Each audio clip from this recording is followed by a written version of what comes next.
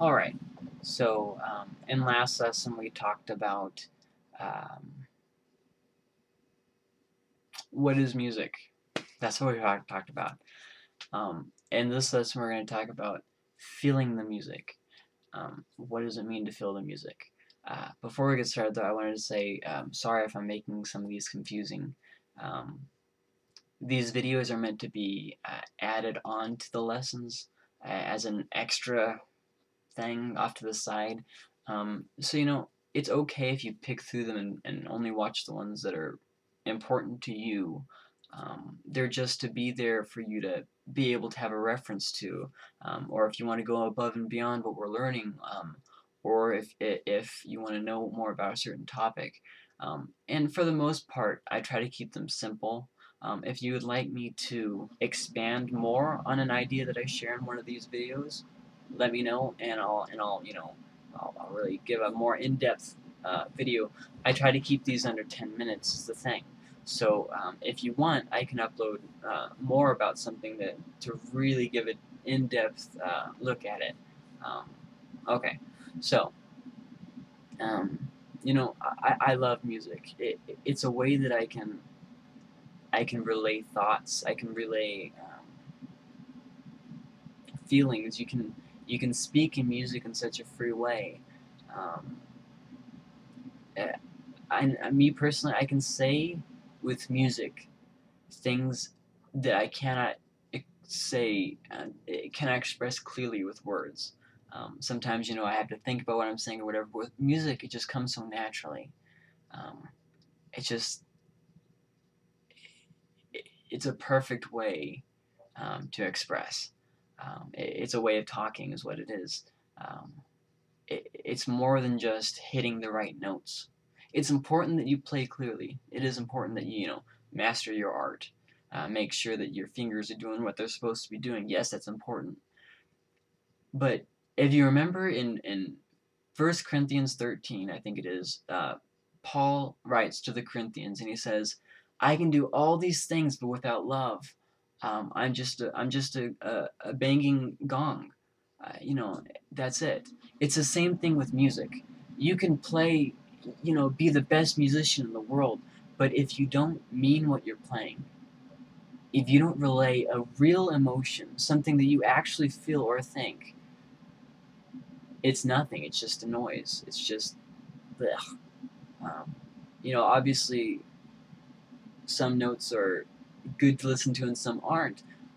But the feeling that a that a note is played with determines everything. It's like it's like how you say things. You can say, um, uh, let's say, um, well, you're a little young, but let's just pretend that you have a husband. Uh, if you were to tell your husband, "I love you," um, I mean, if you didn't mean the words that you were saying, it would just be words you know. Um,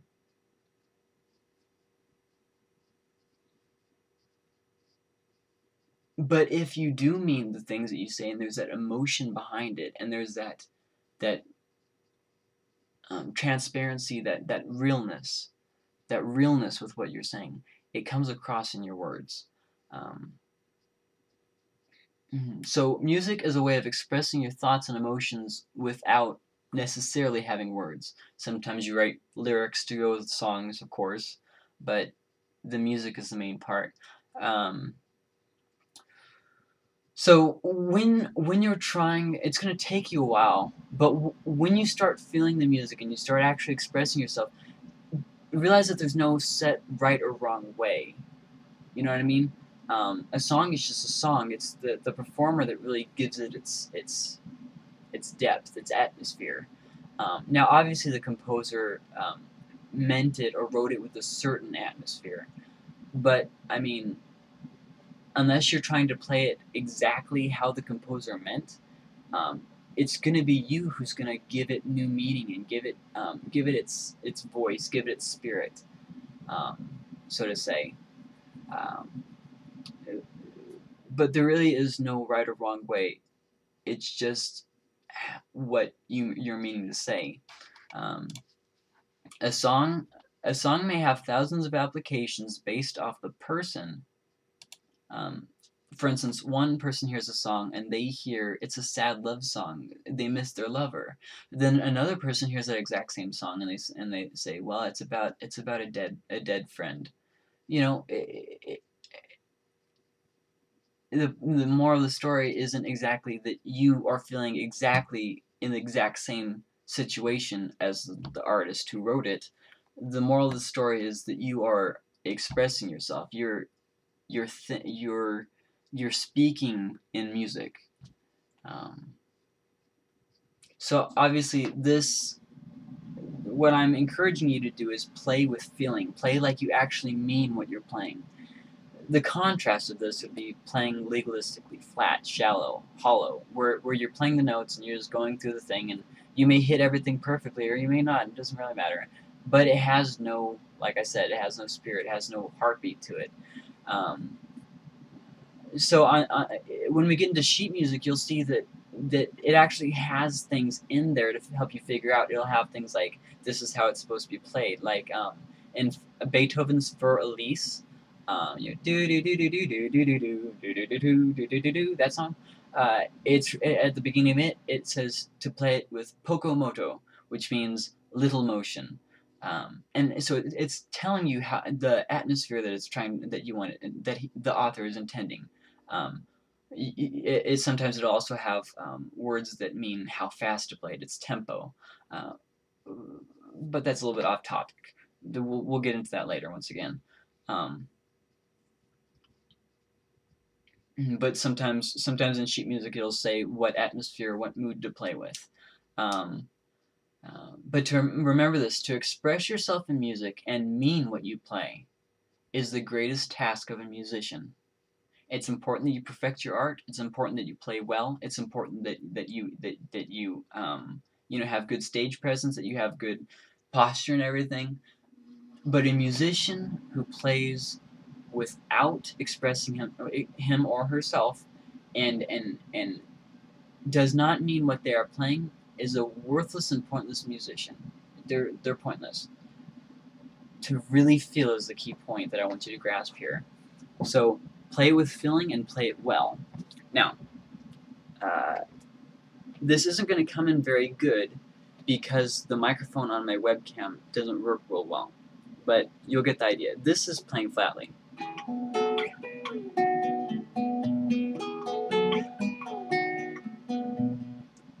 Real, real flat, you know. And it doesn't matter the speed. I played that kind of fast. But now I'm going to play with more feeling.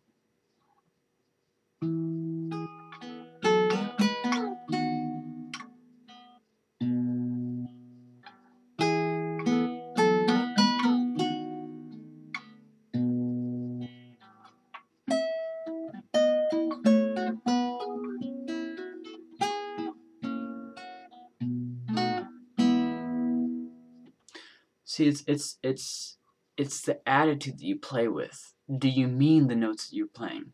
Do you mean it? Um, and the more you practice this, the more you'll the more you'll get it.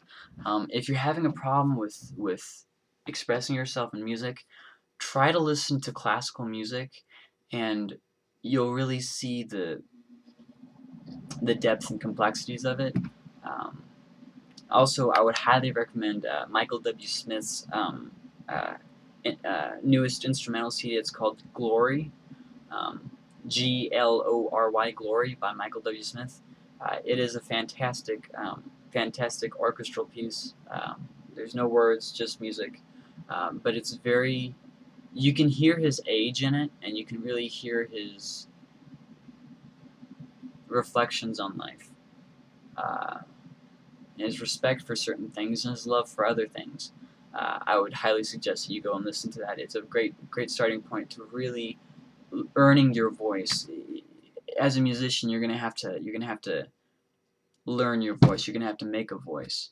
Um, it's like a baby, you know. A baby at first doesn't have a voice; it just, you know, cries and whines. But then as it ages, it, it gets a voice and it matures that voice, and then eventually you can recognize that person by its voice, by their voice. And it's the same thing with this. Um, really uh, grow your voice, grow your grow your your your, your musical voice. Um, all right, so play with feeling and play it well.